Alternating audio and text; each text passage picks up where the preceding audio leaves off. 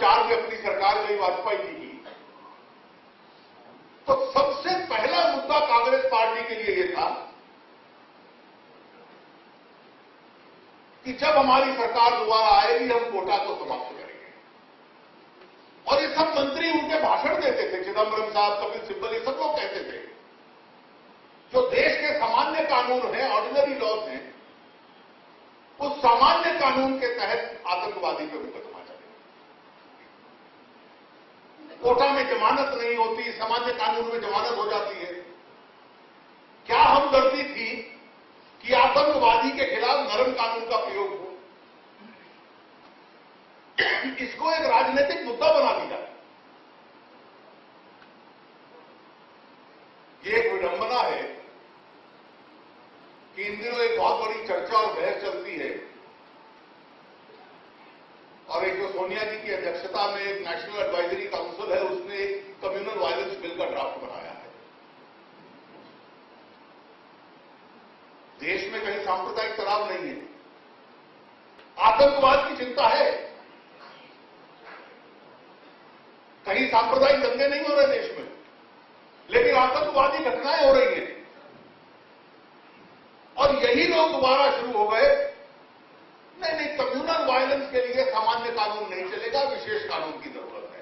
लेकिन आतंकवाद के लिए विशेष कानून नहीं चाहिए और उसके लिए जो विशेष कानून चाहिए, वो ऐसा विशेष कानून लाओ कि इसके आधार पर तय होगा वो कानून आप पे लागू होगा कि नहीं होगा कि आप किस धर्म, किस मज़हब के हैं।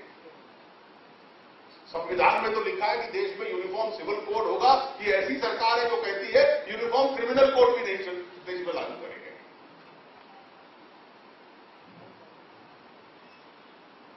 ये कहने वाले कि आतंक के खिलाफ विशेष कानून नहीं होगा। लेकिन कम्युनल वायलेंस के खिलाफ चाहिए ये सरकार का रवैया है। आज आप केवल यहाँ तक सीमित मत रहिए। उसके पीछे रवैया क्या रहता है?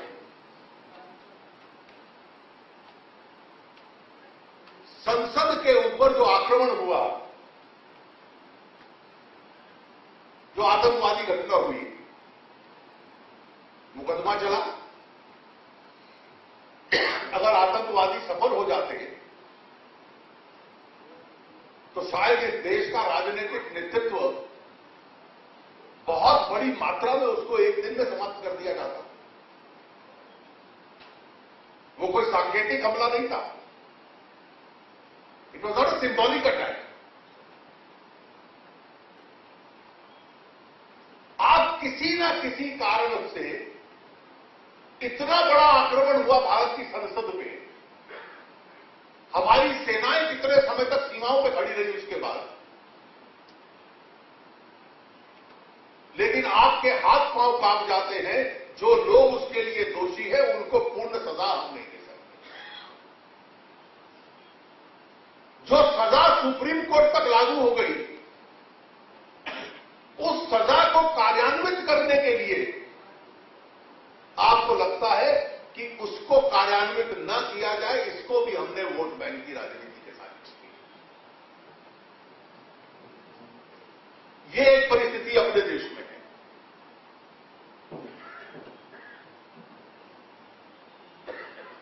बाटला हाउस की घटना हुई गुजरात में अन्य स्थानों पर आतंकवादी घटनाएँ करने के बाद दिल्ली के एक इलाके में बाटला हाउस में छुपे बैठे थे आतंकवादी। पुलिस को जानकारी मिली और गुजरात पुलिस ने उनको दी। पुलिस ने चारों तरफ़ से घेर लिया। और इतनी बड़ी घटना के दौरान कुछ लोग वहाँ पकड़े गए। पुलिस अधिकारी की हत्या कर दी, कुछ वहाँ से भाग गए।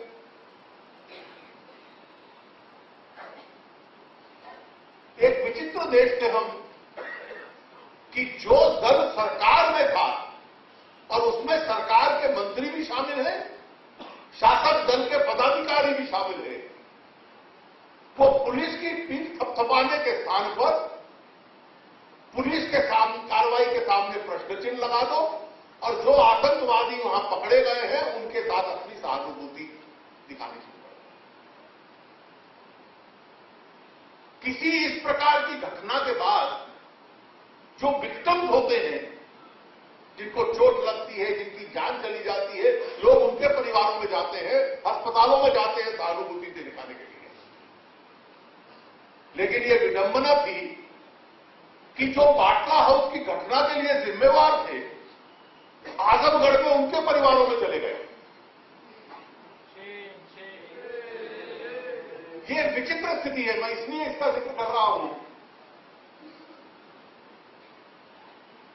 कि आतंक से कैसे लड़ा जाता है नौ ग्यारह की घटना है अमेरिका में जिसके बाद कोई दोबारा ऐसी घटना नहीं हुई और दूसरा ये परिस्थिति है कि आप विक्टिम्स के यहाँ जाने के स्थान पर जो लोग इन घटनाओं के लिए जिम्मेवार थे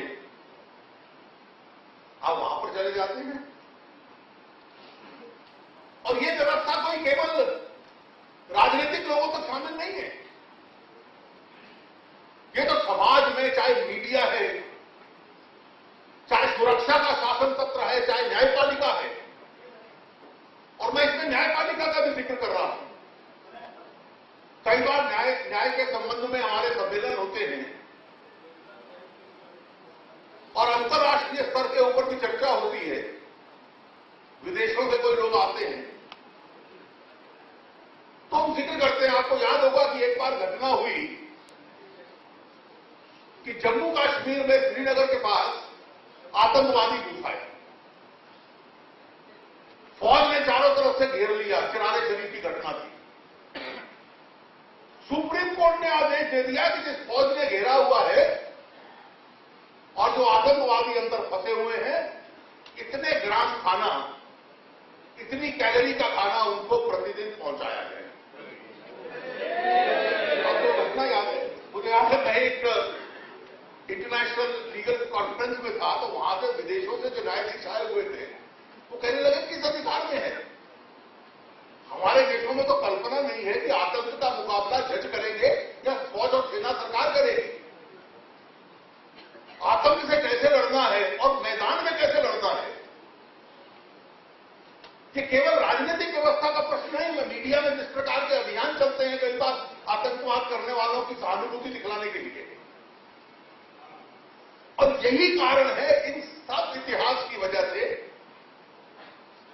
कि आपकी व्यवस्थाएँ कमज़ोर हैं। छब्बीस ग्यारह की घटना एक बहुत भयंकर घटना थी देश के इतिहास में। सरकार को उसके बाद लगा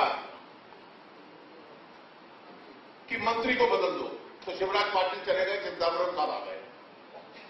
आते ही उन्होंने कहा, मैं नेशनल इन्वेस्टिगेटिव एजेंसी बनाऊँगा। बहुत कदमों का ऐलान कर दिया। आप कल्पना कीजिए 26 ग्यारह की जो घटना थी, उस दिन जो हुआ, दो तीन दिन में उसका ज़िक्र नहीं कर रहा। हमारा कानून और हमारी व्यवस्था कितनी कमज़ोर करती है यूपीए सरकार ने। 26 ग्यारह का ट्रायल और उसकी इन्वेस्टिगेशन इसका सबसे बड़ा उदाहरण है इतनी बड़ी घटना जिसके षड्यंत्र में सैकड़ों लोग शामिल हो गए।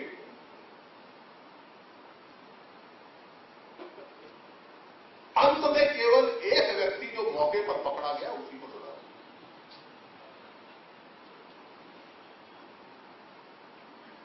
जो मौके पर पकड़ा गया, मैं कहता हूँ कि अगर कोई एनआईए ना होती, जहाँ की एटीएस ना होती किसी साधारण व्यक्ति को कह दिया जाता कि भाई आप ही इसके खिलाफ मुकदमा दायर कर दो। तो जो बंदूक के साथ मौके पर पकड़ा गया, उसको तो स्वाभाविक सजा होनी थी। जिसको कैमरा में कैद कर लिया, लोगों को गोली मारता जा रहा था। उससे आगे पूरी इन्वेस्टिगेशन और तफ्तीश करके हमारी इन्वेस्टिगेटिव एजेंसीज आगे तक बढ़ती हमें कुछ मालूम नहीं ये जो प्रशंसा करते हैं ना कि शिवराज पाटिल बिल्कुल काबिल नहीं थे नए वाले बहुत काबिल हैं आप एक कल्पना करिए कि इतनी बड़ी घटना और सबसे अधिक हमारी इन्वेस्टिगेटिव एजेंसी पहुँच पाई एक व्यक्ति तक जिसकी फ़ोटो कैमरे में भी आई हुई थी, जो मौके के ऊपर हथियार के साथ पकड़ा गया था। जिसकी सजा स्वाभाविक थी। कैजुअल इन्वेस्टिगेशन अमेरिका में उस घटना के डेढ़ साल बाद, वहाँ की एफबीआई ने कुछ लोगों को पकड़ा।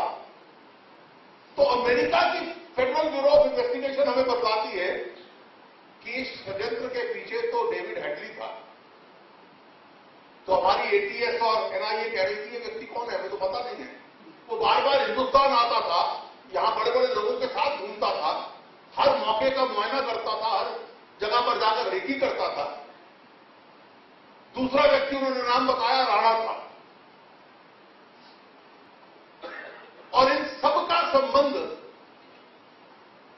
लश्कर ए तोयबा से था और लश्कर ए तोयबा को जो आदेश मिलते थे कौन मेजर इकबाल था और ये सारे के सारे आदेश जो मिलते थे वो आईएसआई के माध्यम से मिलते थे शिकागो के ट्रायल में हमें जानकारी दे रहा है, हमारी अपनी एनआईए और अपनी एटीएस की जानकारी कुछ नहीं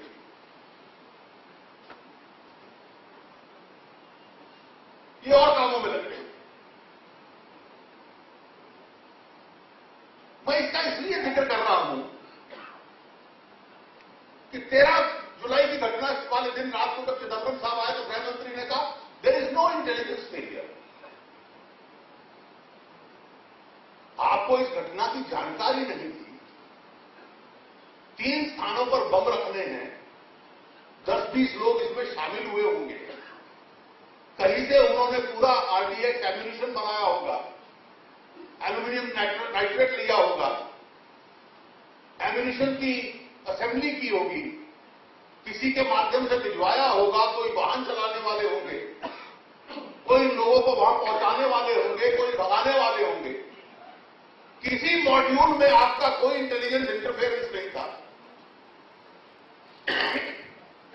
किसी के इंटरसेप्ट आपने पकड़े नहीं। आपकी इंटेलिजेंस को इस सब की खबर ही नहीं थी कि अपने आप में इंटेलिजेंस फेलियर है। उनकी इंटेलिजेंस फेलियर की परिभाषा यह है कि इंटेलिजेंस ने हमें बतलाया था और हमने कार्रवाई नहीं आपकी इंटेलिजेंस सोई हुई थी कि अपने आप में इंटेलिजेंस फेलियर है। कि इतने लोग इस घटना में शामिल हुए होंगे और आपको इसकी जानकारी नहीं है। मैं इन विषयों का ज़िक्र इसलिए कर रहा हूँ कि अगर सच मामले में मुंबई की भावना क्या है स्पिरिट ऑफ़ मुंबई क्या है वो तब होगा कि अगर पूरे समाज में ताकत और शक्ति आएगी कि हम बिना वोट बैंक की राजनीति के जुड़े हुए जितने कदम उठाने हैं, उतने हम लोग उठाएँगे आतंक को रोकने के लिए, ताकि आगे कोई घटना न हो पाए। और अगर आपको लगता है कि वोट बैंक के साथ जोड़ना मैं आपको उदाहरण देता हूँ। आजकल एक बहुत बड़ा एक समाचार पत्रों में ज़िक्र आता है कि गुजरात के पुलिस अधिकारियों ने कुछ वर्ष पहले लश्कर तोयबा के कोई सक्रिय कार्यकर्ताओं को, जो मुंबई, गुजरात में घटनाएँ करना चाहते थे, पकड़े उनका, हुआ उनकी मृत्यु।